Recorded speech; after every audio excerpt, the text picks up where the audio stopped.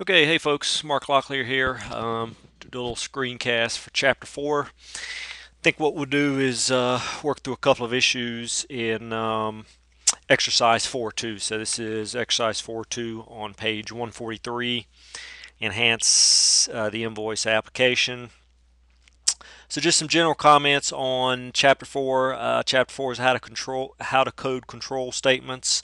So most of that should be pretty straightforward with regard to loops. Um, um, if and if else statements. So if you have specific questions on things, just um, yeah, just let me know and I'll answer those. I think what we're going to look at in 4.2 is uh, we'll do number two uh, we'll do one of the things that I asked you to do in number two, and uh, then we'll also look at uh, adding the static method. And that's kind of a big deal. Uh, they only cover that. They cover that right at the end of chapter four. And so this idea of creating our own methods is going to start to introduce us to the concept of sort of abstracting our, our code and start to modularize our code. So this is important when we begin to think about object-oriented programming, uh, this will be important when we start to talk about cl classes is just sort of going to take this idea of a static method and take it to the next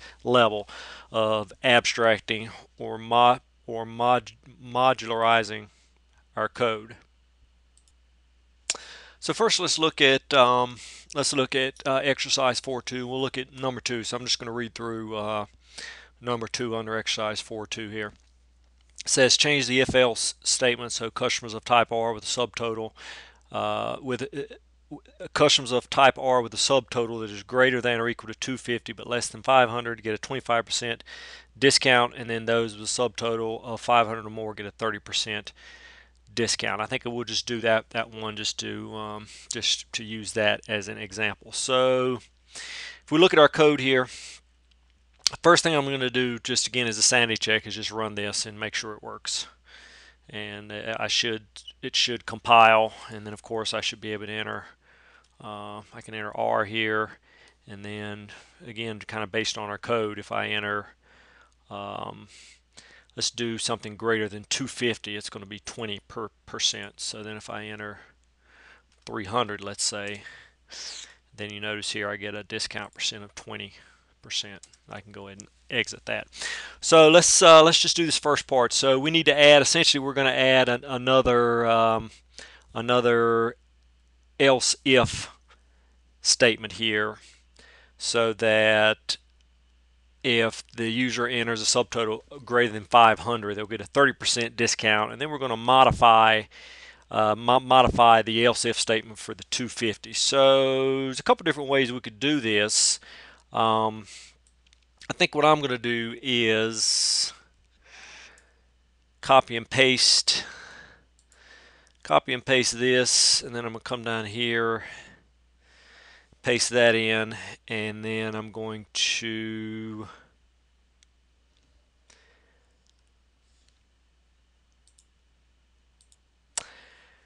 move also copy and paste this in.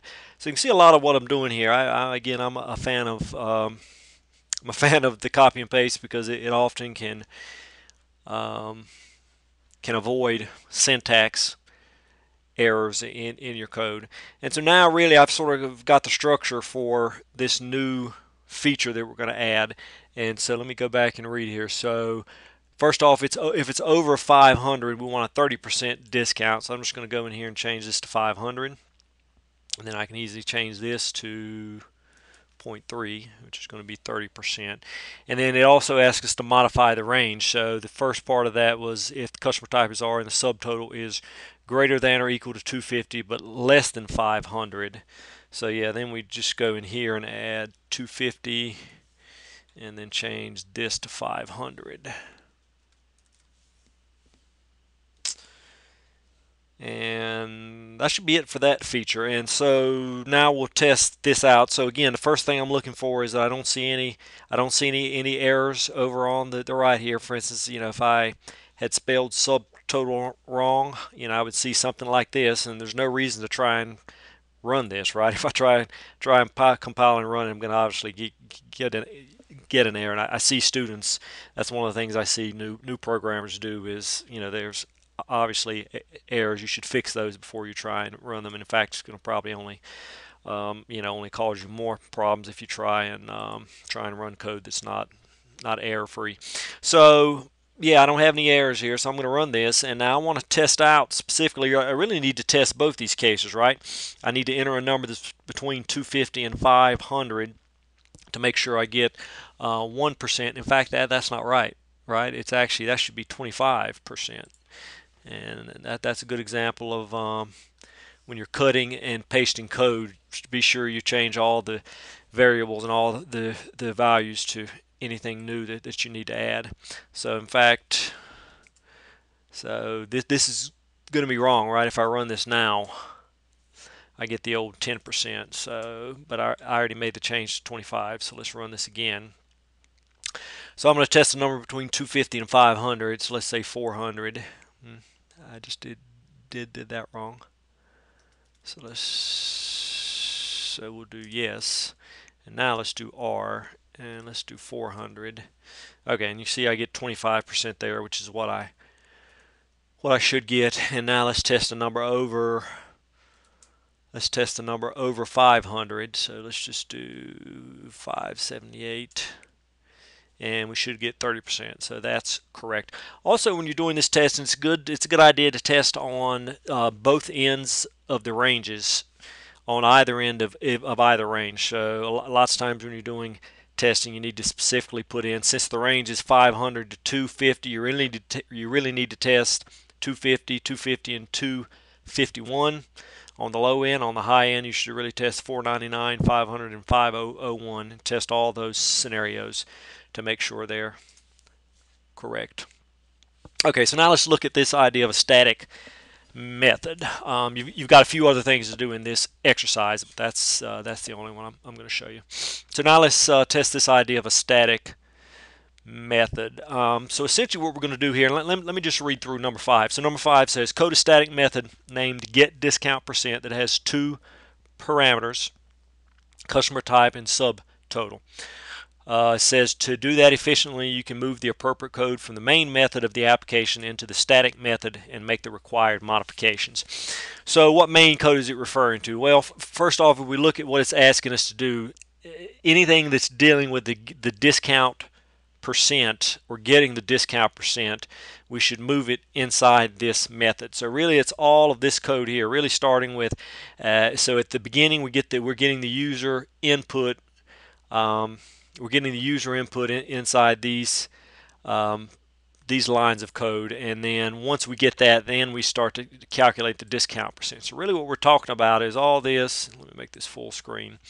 So really all of this code starting from here down through the discount percent amount here we're going to move that into a separate method so rather than me do rather than me do this online I'm going to go offline for, for a second and pop some code in and then I'll come back and we'll continue. Okay, so now I've got uh, got some code here where I've moved things around. Let's review what I've done. So now if we look inside our main method, we can see that all of this logic related to discount percent has been moved down here. Notice where I moved it to. It really goes in this next to last bracket. Just make sure you're aware in general. That can be a challenge for students this, even a challenge for, for me. Anytime you're kind of modifying programs or cutting and pasting, you have to pay special attention to where these brackets are and these block statements because um, the, the, programs rely heavily on, on, on, that with regard to being able to, to compile and run.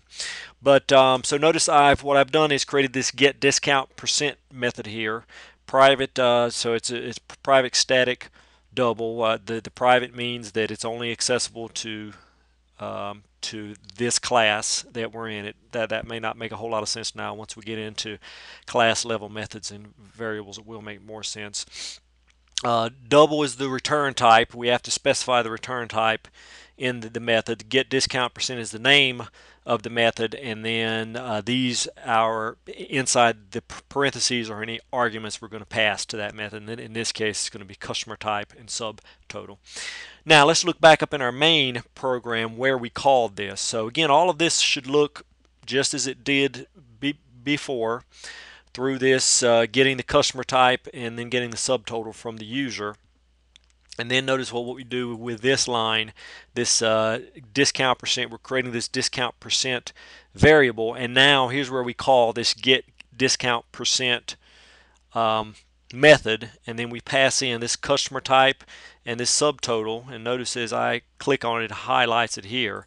Uh, customer type, I'm getting that from, from the user here. Subtotal, I'm getting that from the user here. And then if you think of it from a code path perspective, as I as I hit this as I hit this get discount percent method, now we move down here, and then again we we specify the arguments that are passed to this discount percent method. And then really all of this code is the same as it was in our main method save for this return discount uh, at, at the very end. That that's the variable we're returning. And then again, if we think of it in terms of the code path for, from here, when we say return dis discount percent, think of it in, in, in terms of this method is returning this variable, this discount percent variable back. So it's returning it back and then it's being assigned to the discount percent variable in the main method. And then all of our math is the same. Really everything else is the same from this point on.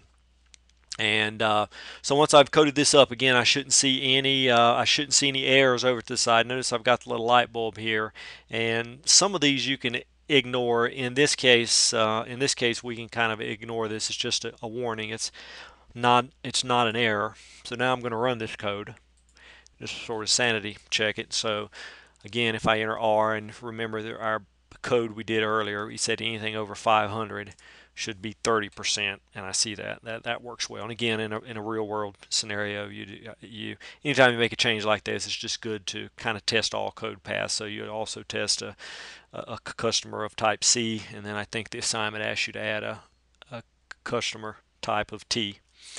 So that's just a little about that. Um, again think of these static methods in terms of think of these static methods of terms as a way to modularize code.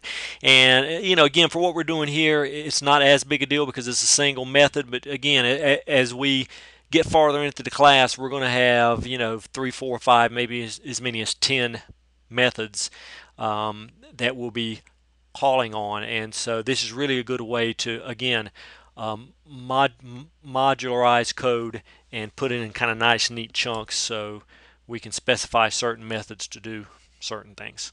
Okay, so that, that's all I've got for this screencast. Uh, if, if you have questions, just shoot me an email. Thanks.